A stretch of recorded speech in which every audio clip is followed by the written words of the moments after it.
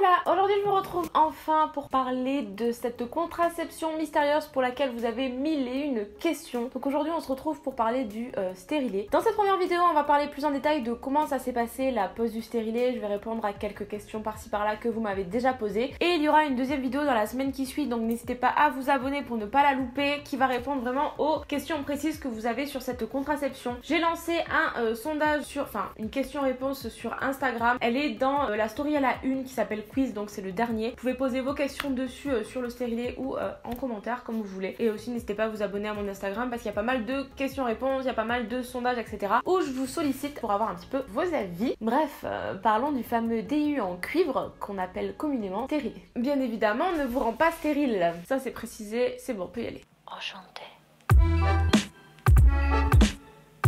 En outre d'être une femme archi chiante, hein, j'ai aussi un corps archi relou. La pilule, je la supporte pas. L'implant contraceptif non plus. Oui, je ne supporte pas les hormones et ça, c'est c'est un petit peu. C'est assez relou, très relou même. Puis j'ai pris sur moi, hein, j'ai commencé à me renseigner, à lire, à me poser plein de questions, à découvrir plein de choses. Et je suis allée chez mon gynécologue en mode Bon, c'est bon, c'est décidé, aujourd'hui je veux un DU en cuivre. Et là, il m'a regardé et m'a dit non, N- non, quoi, non, genre, toi, tu vas me dire ce que je peux faire ou non dans mon corps, ce que je peux mettre ou non dans mon corps. Il me dit oui, non, vous avez jamais eu d'enfant, ça peut être dangereux et tout. Je dis attendez, hein, lui aussi il est Gigi et puis il dit pas la même chose que vous donc. Oui, mais vous savez, moi j'aime pas trop. Ben je vous demande pas votre avis, je vous demande de me poser un stérilet en fait. Et vu que j'étais jeune, j'étais en mode ouais, peut-être qu'il a raison et tout, on va tenter des nouvelles choses. Mais j'étais quand même très très renfrognée, hein. j'étais en mode. C'était pas. euh, hein, c'était euh, tu, hein. Bon, on va prendre la pilule encore, super. Tous les contraceptifs que j'ai utilisés, l'histoire de ma contraception plus globale et tout ça, j'en ai déjà parlé, revenir là-dessus, mais la complication de se faire poser un stérilet quand on est une femme qui n'a jamais eu d'enfant. Parce que oui, je n'ai jamais eu d'enfant, à part si je le cache sous mon canapé, mais sinon non. Du coup, le temps passe, le temps passe, je grandis, j'en ai marre, ça me saoule, et puis je déménage à Toulouse, et là, euh, je suis en galère. Bref, j'étais en PLS, j'étais en panique, il fallait que je trouve un moyen, parce que ça faisait des mois que j'étais pas, des années que j'étais pas allée chez le gynécologue, et euh, je suis allée dans le centre, euh,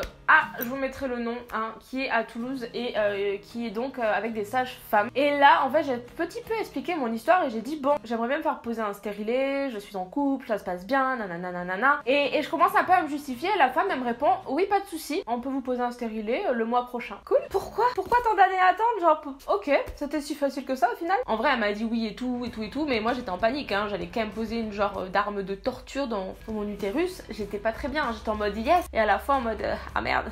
Avant de se faire poser le DIU, alors le mien je l'ai pris en cuivre, il y a aussi le DIU en Orbonne, hein. mais il faut faire des tests euh, pour savoir si vous avez euh, pas de maladie, si vous avez pas d'IST, notamment la chlamydia, etc. Parce que ce sont des maladies, si vous posez votre stérilet pendant que vous avez des infections, et ben votre ça fait des trucs pas cool. Donc il faut vraiment être clean avant de poser un stérilet. Si le gynécologue vous fait pas les tests avant, euh, vraiment l'aide d'alarme, hein. vous lui dites non non non non non, j'ai entendu dire que et c'est pas j'ai entendu, vous faites des recherches, etc. C'est important de faire les tests avant de poser un stérilet, c'est quand même un corps étranger qu'on vous met dans le petit minou. Le jour j'y arrive et elle m'avait dit avant de prendre des médicaments. Donc euh, j'étais un peu en mode quoi des médicaments Quoi faire? Bah pour vous détendre, pour me détendre de quoi Quoi Qu'est-ce qui se passe? Besoin d'être détendu. Donc euh, le jour j'y arrive, je prends les petits médicaments qui n'ont strictement servi à rien et je me dirige vers mon rendez-vous à l'aide de mon ex hein, qui m'accompagne euh, bien gentiment. De toute façon il avait pas trop le choix. Oh non mais oh, non, ça va, genre c'est moi qui vais poser un stérilet, il peut quand même m'accompagner, il va en profiter autant que moi donc tu viens t'accompagner là, tu me tiens la main parce que moi je vais faire un malaise. Alors je suis pas douillette, j'ai pas forcément mal, j'ai jamais quasi mal, genre tous les piercings et tout ça, c'est pas de la douleur, c'est de la pression. Et quand ma pression se relâche, je m'évanouis quasi toujours. Voilà, ça, va, c'est pas trop chiant encore au quotidien. Euh, pour les trucs comme ça, je peux pas y aller toute seule. Donc euh, j'y vais et tout, je m'installe, je pose ma jambe comme ci, je pose ma jambe comme ça. Et là, ça commence. Et en train de te dire qu'est-ce qui se passe dans mon entrejambe. Je commence à me mettre à hurler,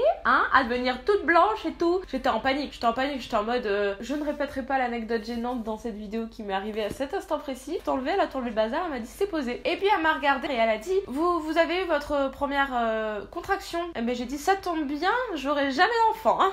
Et mon ex qui me dit euh, c'est toi qui hurlais comme ça genre on aurait dit un film porno j'étais en mode ah ouais non mais là j'étais pas du tout dans le plaisir hein c'était ah là là donc du coup je dois aller me coucher je prends du sucre je suis couchée comme ça je suis en mode PLS et tout et puis finalement je prends mes clics et mes claques je rentre chez moi et je pars pour une bonne sieste je vais pas vous mentir comme je l'ai dit je suis pas une personne euh, très chochotte hein. Je suis plutôt du genre assez euh, dur dur. Mais là vraiment j'étais en panique et j'ai vraiment douillé. Genre vraiment j'ai douillé. À un point où trois mois plus tard quand j'ai cru que mon stérilet se barrait elle m'a dit bon ben je vais vous l'enlever vous le remettre. Je me suis mise à chialer comme une enfant de 5 ans après c'est très personnel. Je connais d'autres filles et des copines à moi qui ont pas du tout eu mal. Mais moi personnellement j'ai douillé ma race. Du coup comment ça marche? Et bien c'est très simple. Pour ça Bon, ok, ça paye pas de mine comme ça, ça a l'air grave chill et tout, y a pas de souci. Donc voici maintenant un utérus un peu kawaii. Parce que bon, c'est un utérus, oulala, ouloulou, ça choque, ça choque. Bon, bref, un utérus kawaii. Juste petite interlude de tabou, mais Keket et Chat, c'est quoi leur nom officiel? Et là, vous allez dire, ah, alors, euh, moi, a un que je sais, l'autre. Euh, je vous donne évidemment pas la réponse, j'attends en commentaire. Sur ce, on reprend le petit dessin. Donc, on commence par passer euh, la tige par le vagin, qui va donc braver monts et montagnes pour arriver dans la colline qui se trouve le plus haut possible, qui est donc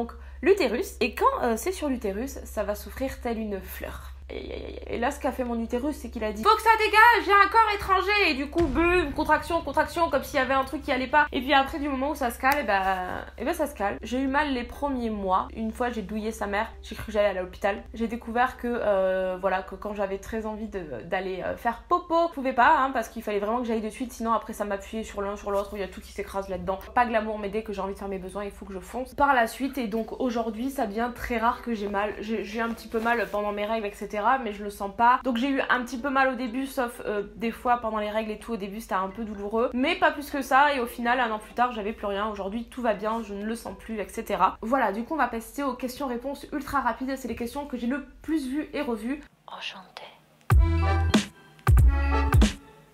Oui, je n'ai jamais eu d'enfant, c'est pour ça que j'ai galéré à le faire poser. Non, on ne le sent pas au quotidien ni durant les rapports sexuels. Si jamais il vient que votre copain le sente, déjà c'est très bizarre parce que si votre copain a sa bite qui va dans votre utérus, c'est qu'il y a un problème. Mais par exemple, on peut sentir les fils à ce qui paraît et vous pouvez vous les faire couper un peu plus court. Mais attention, vous les faites pas couper trop court, sinon après c'est un petit peu galère à aller chercher. Je le garde 5 ans, mais je peux l'enlever à tout moment. Voilà, si je veux l'enlever demain, je peux. Il existe évidemment le DU avec hormones et le DU sans hormones. C'est celui que j'ai. Oui, on fait des tests avant de poser et oui, ça a clairement changé ma vie. Passons au négatif versus positif.